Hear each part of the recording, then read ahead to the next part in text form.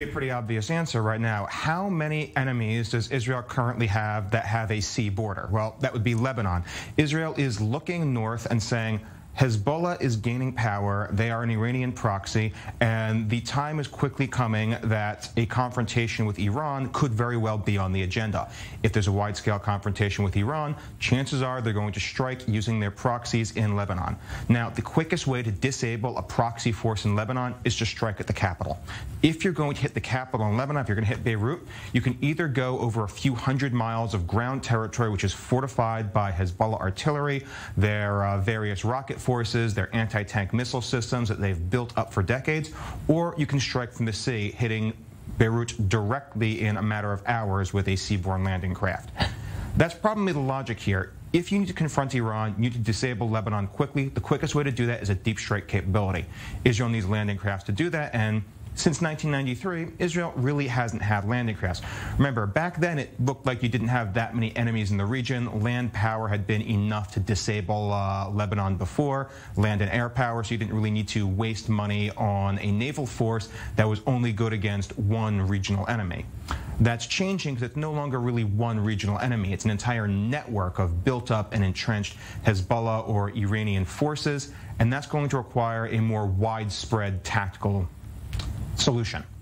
Right, and uh, actually, it seems like also the military establishment realized that uh, this what's called weapon or this uh, ability was missing conducting this large drill right now, the Chariots of Fire drill throughout this month, where all the aspects of the military are on display, uh, the, the, aircraft, the ground troops, uh, intelligence, and uh, then realizing that this, this was missing, no? Yeah, and that's a very common perception in Israel as well. When people say, ask about the Israeli Navy, people are going to laugh and say, oh, it's three canoes that the Coast Guard owns to check for drug smugglers.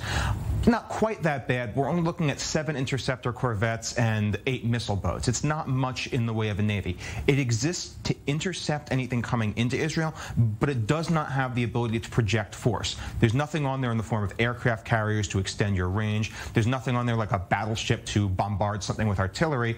It's a defensive force, which means that if you want to project force, Israel's only option is air power, and there are limits to what you can hit with air power. Certainly. And ground, ground power. Here's the problem with ground power. If you're dealing with a fortified opponent, such as Iran has been building up all around Israel for years now, ground power is going to be very slow and very costly. And part of Israel's military doctrine is understanding that Israel does not have a strategic reserve of forces to draw on. Any loss is a significant loss, which means that you have to be able to project force with minimal losses.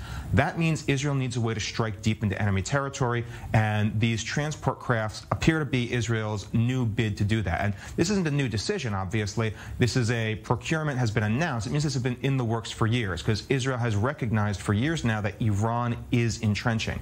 This is hopefully a way that the Israeli forces can project force and can increase their range at a lower cost than their previous models.